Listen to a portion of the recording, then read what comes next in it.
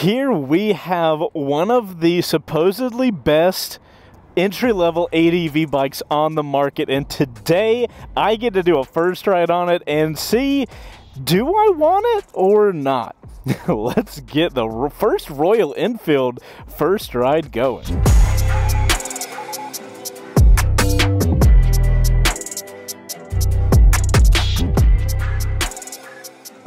What's going on guys? Chase on Wheels here at Mountain Motorsports in Roswell, Georgia. In front of us I have a 2022 Royal Enfield Himalayan. This is Royal Enfield's kind of entry level to the ADV market. It has gotten a ton of attention online so I cannot wait to do a first ride on it today. If you guys are new here, first rides are the series where I ride a motorcycle around for the first time and tell you guys about it and see how it goes. Let's get the key out of there. Let's get it there. But before we get started, let's see what it looks like and let's see what it sounds like.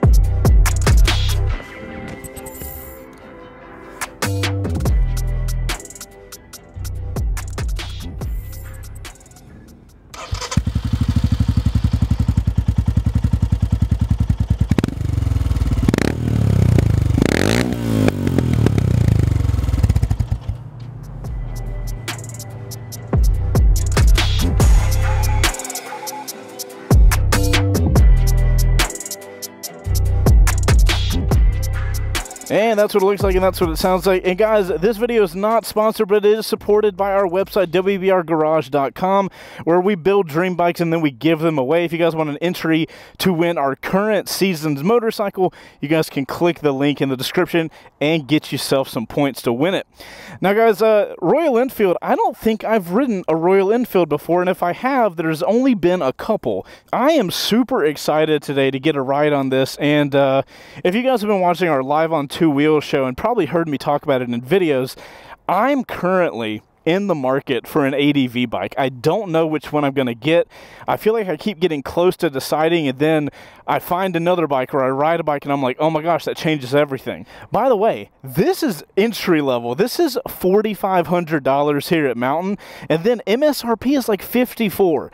There's not a lot going on, but it's coming in at an incredibly affordable price. So I want to see what this bike feels like riding it on the road and potentially at the end of the video find out if this is something I'm interested in and would buy. I think that's what I'm going to start ending first rides with. Would I buy it or not if I was the ideal customer? So you guys stick around and let's find out if I'm a, I'm a buy or a nigh. Let me get my phone on the quad lock here and then we'll get this thing going. So guys, as far as specs go on the Himalayan, uh, horsepower and torque is nothing fancy.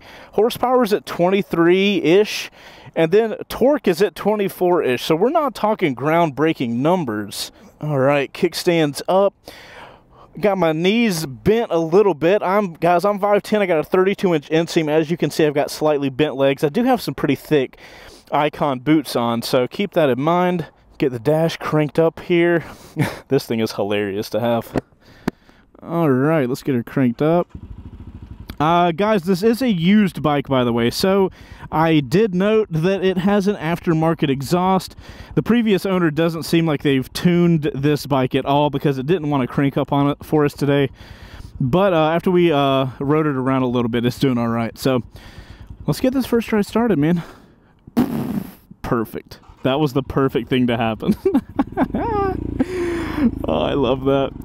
Uh, so guys, before we get going too far into this first ride, if you are a fan of Discord, we have a motorcycle Discord full of motorcyclists. So if you're watching this video, I imagine you're into motorcycles. If you like Discord as well, we've got a whole community for you. Go check it out in the link in the description. And there's nobody coming, uh, so I'm going. Redlining at 65 hundo. Let's go, little boy. Let's go, little Himalayan. So guys, it's been interesting kind of slowly coming into this ADV market and I have just discovered it late in my riding career, but I have fallen head over heels in love with ADV bikes. That's what gets me really excited about this Himalayan, and I do want to make something clear right off the jump. First rides, if you guys are new, are a road review. So I will be reviewing the 2022 Himalayan on for road use. I'm sorry, Dork in the Road, I don't have access to dirt to ride this thing. Uh, if you guys want to see an on and off-road review, you can go check out a YouTube channel called Dork in the Road. Uh, he makes some phenomenal ADV content. I'm personally a fan, and I think you guys would enjoy the content too. But in his Himalayan review, he literally says in the beginning, why would you test this motorcycle on the road only? And here I am. All right, guys, let's talk about body position real quick before I run into the back of all these cars. The seat is very soft on the Himalayan I would uh, I would put it in the too soft category. I could see my butt getting a little tired of the seat, but it is pretty wide, but it seems kind of hard on the edges. I can feel them kind of digging into the sides of my butt. As far as uh, body position goes, my legs are, uh, I'm in kind of like, you know, I describe it many times as the chair position, but it's a position that I can easily stand up on. And then as far as my back goes, my back is upright and my arms are relatively high nothing crazy high, but you know, they're in a good position for if I were to stand up. Uh, since we don't have any modes to talk about, I love that neutral is a zero on, on the dash. We'll talk about the dash later. Um, the foot pegs, we do have the rubberized grips uh, that is to help with vibration on the road. And then if you're doing off-road, you can take those little rubber inserts out and get more grippiness.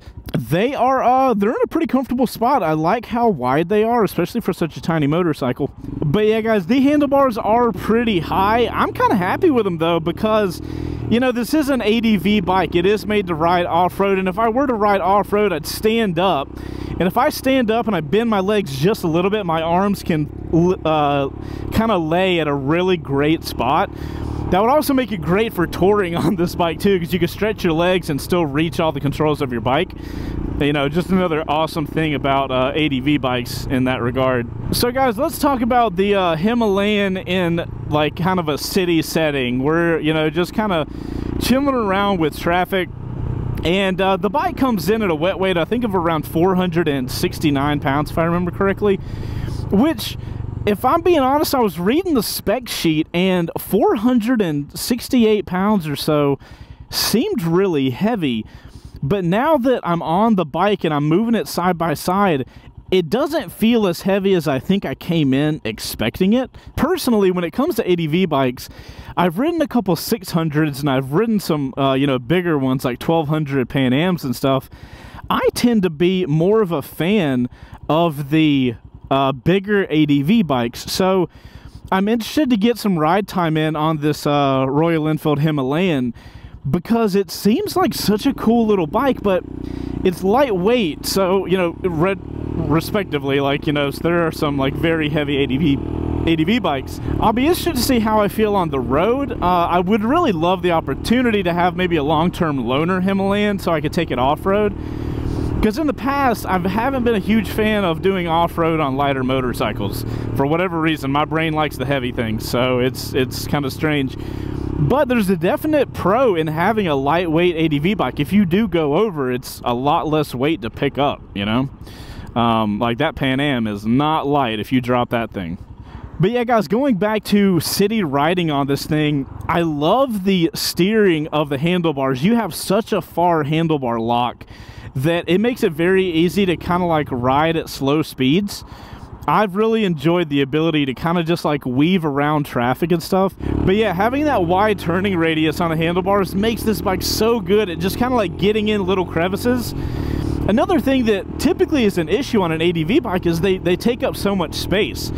I don't feel like that on this bike at all. There's been a couple times when we did the camera car run that I was squeezing in between things and I don't know if it's because the windshield kind of thinly comes up or if it's because of the lighter weight of the bike, but it makes me feel like I'm small and playful and that's a pretty fun feeling to have. I, I don't know if I've ridden an ADV bike that necessarily has that feeling yet, and I've really enjoyed it so far.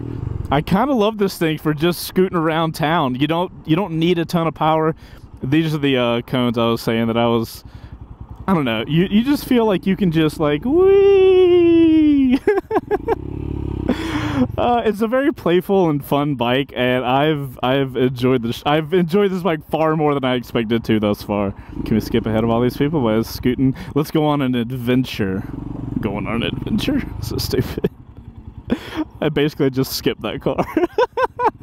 this bike reminds me of the fun little mini, all the mini bikes that I've ridden, the Grom, the Z125, all of uh, the Monkey. I don't know why. This is a full-size bike. It ain't like a mini bike or anything. It has a lot of the fun that you get. And it comes in at an incredible price. So, so far, the Himalayan is like hitting a lot of uh, check marks for me. I will say that the mirrors here on city streets are not good. Uh, I do not feel like I have a good understanding of what's going on around me. Did it die? Oh, I thought it died. Too quiet. Yeah, the mirrors are so small, I find myself having to double check them a lot because I just don't feel confident in them. So, would definitely like a bigger mirror if possible and throwing her over. Hell yes, man. Hell yes. I don't know what's been going on with me lately, but we rode the Indian Scout Rogue for a while, and I use that as my loaner bike, and um, it has very little tech. This bike has very little tech. Uh, but I'm starting to at least appreciate the lack of tech. By the way, there's an ABS button, and I might be an idiot, but I've pressed it a couple times. Supposedly, you're able to turn the rear ABS off. I can't figure out how to do that. Currently, the rear ABS is on, and that's just how it's going to be.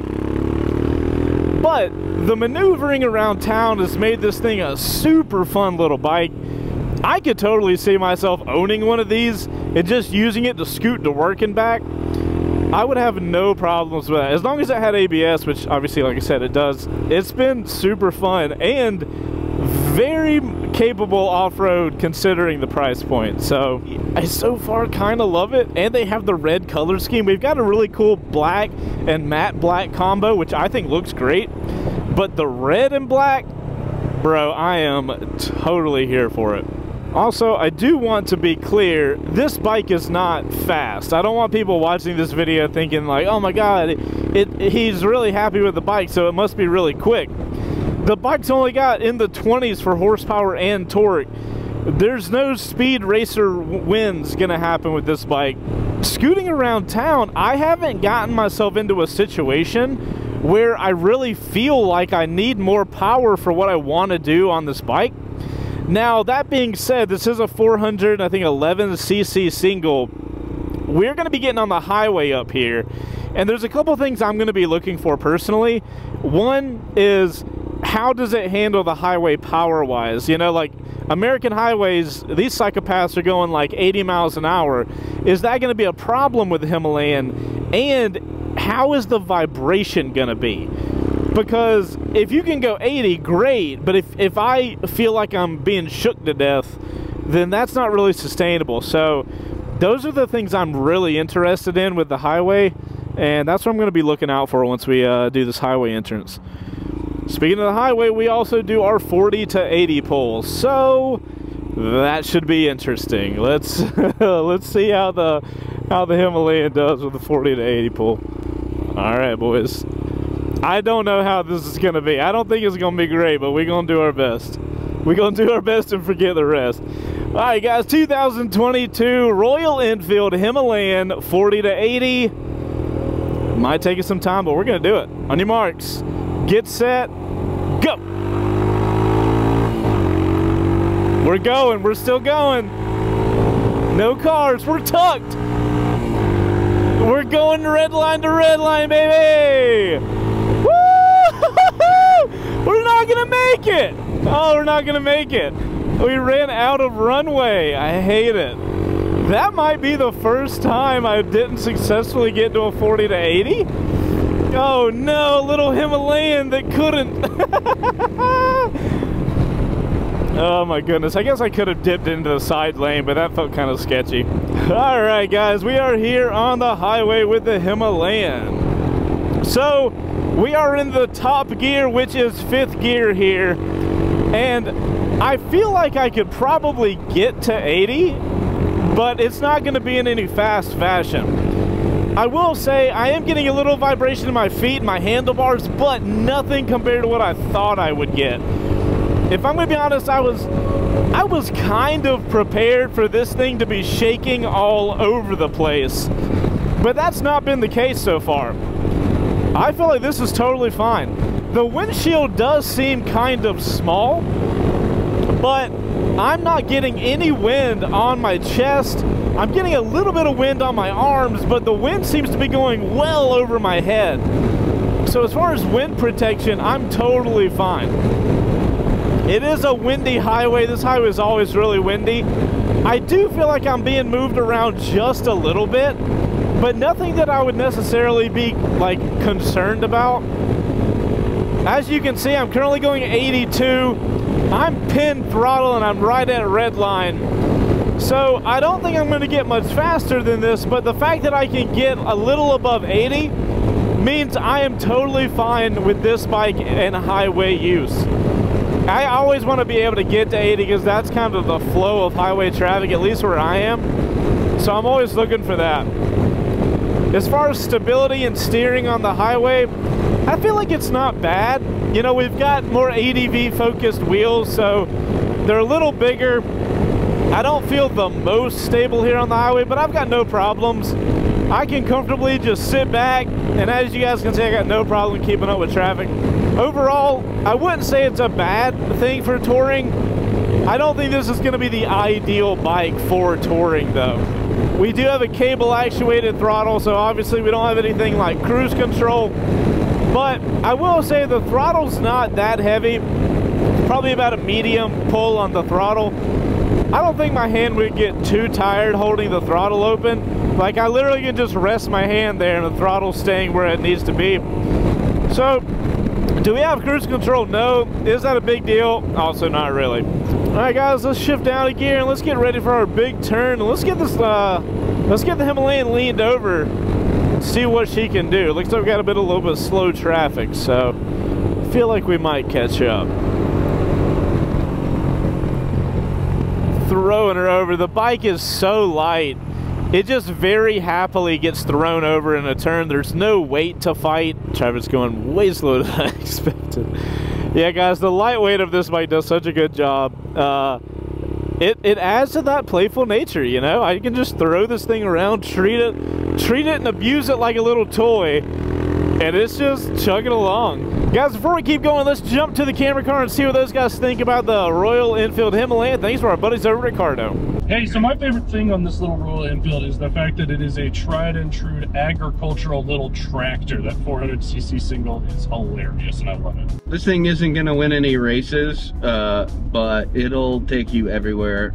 Uh, it is one of my favorite quote unquote entry level adventure bikes. There's a reason it's used all over the world. Thank you guys in the camera car, and thank you even more so to Cardo. If you guys want a discount on the best Bluetooth unit you can get for motorcycle riding, we got a 10% discount in the description. That discount code also helps the channel out. So thank you guys for uh, using it, and even more so, thank you, Cardo. All right, guys, uh, let's talk about the power delivery on the Himalayan. Uh, like I said, you're not going to win any land speed records but as far as street riding, if I'm going to be honest, I got no problems with what kind of power I'm getting out of this thing. It's not throwing me back in the saddle. I don't really have to hold on for dear life. If I want to get some speed behind me, I've really got to build up to it. All that being said, I'm I'm not upset about it at all. I've got the little torquey power to get me through the traffic with no problem and I can get up to 80. And really, for a bike like this that cost what this bike does, I don't really ask for much more than that. You know, this I can buy this bike today for 4,500 bucks, and it does not feel like that. Transmission-wise, it's felt good as well. Every time I click up a gear and click down a gear, I get a good satisfying click. Uh, I don't really care that much that it's only a five speed and not a six speed. That doesn't really deter me. I will say uh, the brakes, now here's the thing. I wish the brakes were a little stronger. But then I keep in this video, I have to I have to keep reminding myself that this bike's only 4,500 bucks or 5,400 brand ass new.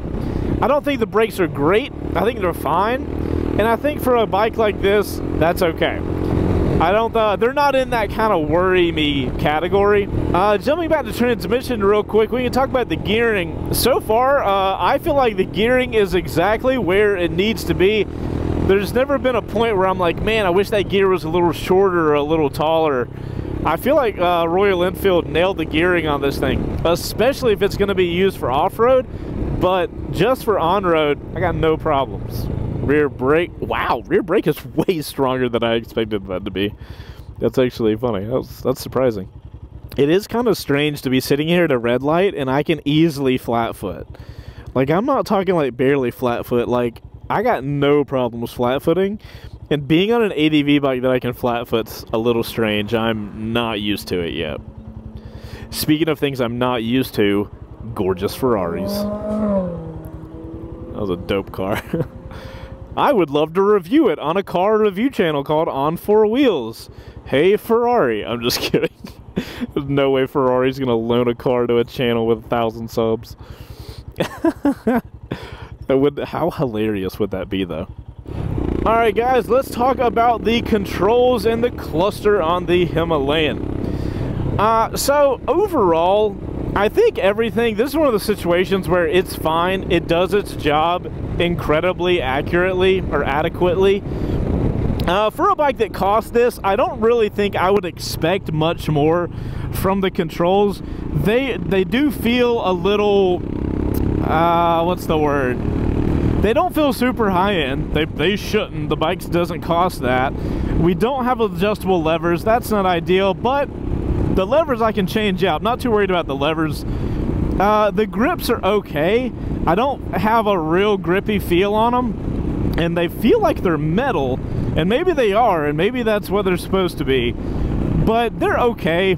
I don't really have like any strong feelings about the grips or the controls. Uh, I might put a different pair of grips on it though. Now, as far as the cluster up here, I've got to say, I don't know what it is about this cluster, but I freaking love it. Everything is, all the important stuff is just, it's digital or physical, and it works perfectly. I love the little compass here. I just think it's hilarious to have. Supposedly you can uh, sync your phone to this little device on the right side and you can get like turn-by-turn -turn navigations up there I feel like that guy is great and I love it, but I do feel like it's a little out of place on a motorcycle like this. It's just putting tech in a place, it's like that's the only piece of tech on the bike. And because of that, it feels a little a little weird. There's something about this like old school dash that I'm just really here for. And it adds to the uh, the tanky vibe that this bike has. And yes, I said tanky, as in this bike seems like some old uh, Russian tank that has no tech in it, but it just it does its job totally fine. I really this bike really gives I'll last longer than the rider of this bike. That's what I feel like when I ride this bike. And uh, is it raining? Are we going through rain? Are we on an adventure first ride in the rain? Let's go, fam. Let's go. I'm not even worried about it. I'm totally okay with this bike being like a element fighter. And it's because it's just you and the bike. I don't know. We'll talk about more about it here in a minute. But guys, I'm going to pull off and we're going to do a little walk around of this bike. It might have to be a little fast since it's raining on us. But uh, we're going to do a little walk around. And uh, I got to say, I'm kind of falling in love with the way the Himalayan looks. I know that's kind of crazy, but it's happening, and I don't know what to do to stop it. So there's that. Oh, our first walk around in the rain? That's awesome. Let's do it. Absolutely, man. I got my new REV'IT gear on, so I ain't even worried about it, man. I got all my waterproofs on. Shout out to REV'IT for the gear. I'm here for it. And yes, if you're uh, new, guys, there is a person that owns our spot now. It has been stolen from us, precious. I think I went up here and did a did the other one here. We'll do it right here. We'll do a little walk around. All right, the little tractor that could. All right, guys, 2022 Royal Enfield Himalayan. Super simple bike, nothing crazy going on, but super cool bike. I I freaking dig it. Uh, looks like we got a 17 inch wheel in the back and a 21, I would assume, up front. Yep, 21 inch front wheel. The simplicity of this bike really makes me enjoy it, and there's something about the looks that I really like. I I don't know what it is. This uh, colorway is probably my second favorite colorway. My only better colorway than this is the one that has the red tank. I think it's either in the red in the front or the back up here. It looks so cool. You got your uh, little rails up here for uh, both protection and for um, attaching things to. If you guys notice, moving the the handlebars, it doesn't move this. It's actually attached to the motorcycle. The exhaust is kind of cool. How it frames the engine. The engine is super simple, super old school looking. Uh, love that. Um, this, I love the graphicy there. And then we've got all the uh, the grab stuff on the back, and I've seen these uh, set up with um, side cases as well, and they look great with side cases. So it's not just uh, trim trimmed down that it looks good. So I'm here for it. I think I think the front tire is hilariously big for this bike, but it's I'm just I'm totally here for it. I do notice we kind of got like a double fender here. I like the way it looks. I like the beaks. You guys know I love my beaked bikes, but um kind of interesting there. I think if I were to buy the bike, the only really thing I would do is maybe put a put some sort of like fender tuck in thing. But I, I mean, maybe I don't know. Might just leave that. Might not do a damn thing to this thing. How hilarious would it be if I rode for 10 years and then the ADV bike that I finally settled on is a freaking $5,000 Royal Enfield? It's kind of hilarious that's about it, guys. That's all the that's all the looks. I, lo- I love it. I think it's awesome, and uh, can't wait to finish this video up and ride some more. Uh, before I do that, guys, I'm going to grab my phone off of my quad lock, and uh, I'm going to take some shots for our vertical peeps over on Instagram at C2 Pics and uh, TikTok at Chase on Two Wheels. So if you guys uh, are fans of vertical content, go check us out over there. Give us a follow and check out all the cool stuff we make. I'll be right back. Alright guys, that's it for the vertical stuff. Back to YouTube. Before we get out of here, we're going to do our turnaround test. And we got to figure out who is this bike for and would I buy it if I was in the market for this specific bike. I love the little graphic that pops up there. it's it's so cute. All right, steering stem lock test.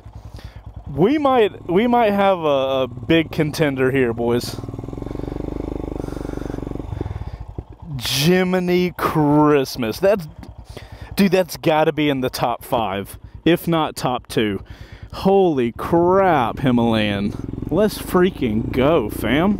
Alright guys, uh, before I decide if this is a buy or not for me, let's talk about who I think this bike is for.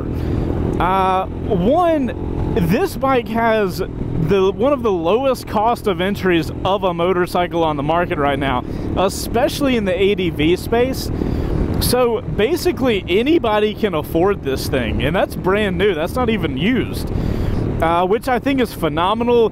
This bike is very cost effective, but it does not feel cost effective, or it doesn't feel as cost effective as the bike actually is, which is obviously the best situation you want to be in. I feel like the barrier to entry is low because it's a relatively lower CC. It's, you know, 411. The power is adequate, and I feel like this might be one of, if not the best entry level into the ADV space that there is. The only reason I won't say it is or isn't is because I haven't got to ride it off-road. So if you guys are looking into getting into the ADV space, wow, my voice just cracked all the hell up. I would definitely recommend you guys looking into some on and off-road reviews. Now, if I can get contact to Royal Enfield and we can get one of these to ride off-road, bro, I'm here for it. But as it currently stands, I don't have a contact to Royal Enfield, so I can't give you guys that content yet. The ideal customer is somebody wanting to get into ADV that hasn't been riding before, or if you don't know if you're going to like ADV and you don't want to spend a lot of money, this would be a phenomenal option because you're going to know if you like ADV or not if you get this motorcycle and you actually go out for a ride. Now, would I buy this bike for the, you know, we'll just call it MSRP of 5400 bucks brand new? Uh, absolutely. I would 100% buy this thing. The small CC doesn't scare me off yet. The only thing I would really love to know is how well it does off-road, or better, how I would do with it off-road. That's the only thing that kind of holds me back from this bike, but I think it's a phenomenal buy for the price, and I have enjoyed every freaking second of this motorcycle. It, it's it's it's kind of awesome actually. Like as a full package this bike is dope and i freaking love it. And guys that's about all i've got to say about the royal enfield himalayan. I like this thing way more than i came into it expecting to so we love seeing that. If you guys want to see other adv bikes i've done first rides on there's going to be a link for you here on the video. Thank you guys for getting to the end of the video. You're officially in the outro crew and i love you a little bit longer. You guys ride safe and i'll see you on the next one. Later